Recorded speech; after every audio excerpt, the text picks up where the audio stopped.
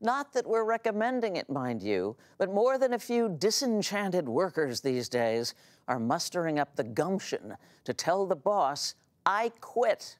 So, how's that working out for them? Our cover story is reported by Tony Dokoupil. In 2009, Bill Murphy Jr. landed a top level law job, making big bucks. But when he showed up for work, I realized pretty quickly I wasn't the right person for that spot. What was it about a competitive six figure income wasn't attractive to you? yeah, I know that's a question a lot of people would ask. That's right. On his very first day, Murphy already wanted out. I recall going to the orientation and you know one of the speakers got up, "Hi, I'm John Smith. I've been here for 21 years and 3 months, so that means I have, you know, 8 years plus to retire." And that became a running joke with a few of the other speakers that got up. But that's not really what you say if you love your work and no. you really want to come in there every day. So rather than count his own days behind a desk, he did something you won't find in most career playbooks. He quit. On day two, telling his boss, I am really very sorry. I can tell that I made a big mistake in accepting this job. The move was radical, but the mindset not so uncommon. According to a recent CBS News poll, more than half of Americans with full time jobs say they daydream at least once in a while about leaving those jobs behind. Do you think the fantasy of quitting your job is more prevalent today than it was a generation ago? I think it is. And for many people, it is a fantasy, unfortunately. Michelle Singletary, who writes about personal finance for the Washington Post, says employers are largely to blame. I think the companies broke the contract because they made us expendable at every level. I mean, it got to the point where they could boost their stock prices by firing people. And people are saying, if that's the case, I don't owe you my entire life. That may help explain why some employees now put early retirement at the top of their to do list.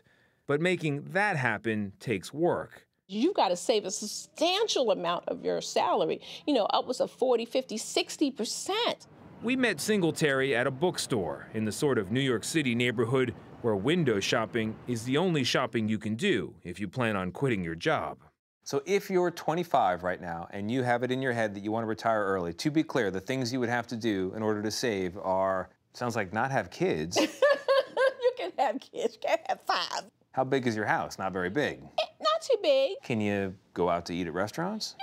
You can every once in a while. You're not going to be taking a $5,000 cruise, no. You essentially have to ignore every cue from our culture, every commercial on TV. My husband and I keep our cars until we're on a first name basis with the local tow truck drivers.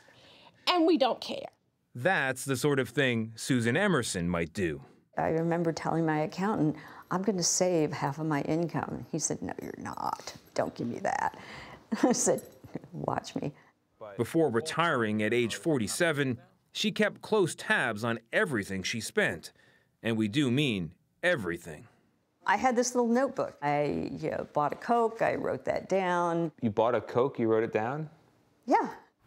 Thanks to that tight budget and some savvy investing, Emerson, now 61, has spent more than a decade pursuing her lifelong passion art.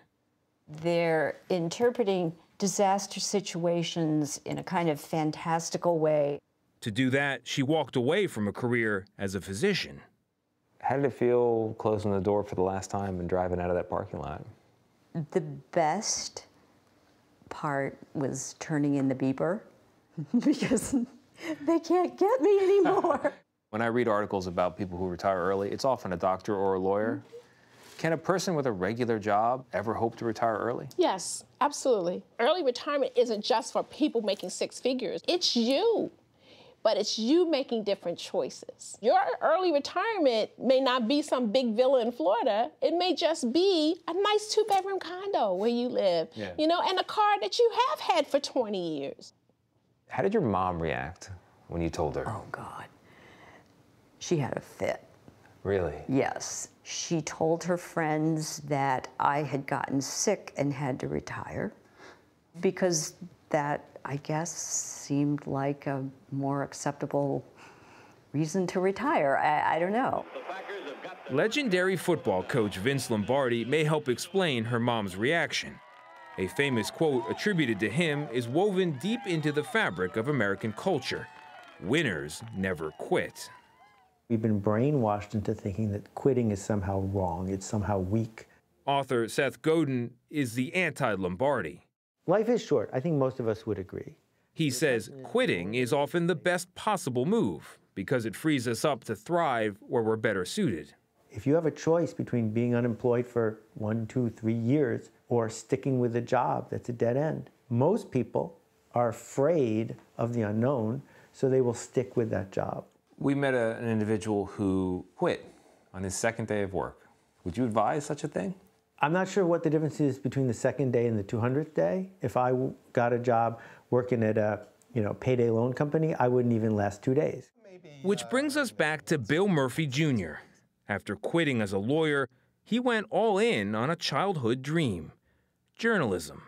And it wasn't one of those ones that gets a million readers. It's one. He's now a contributing editor at the publication Inc. I would not go back. I would. I, I have no regrets. And one thing's very clear he's happy. You quit your way to a better life. You know, I call it the joy of quitting.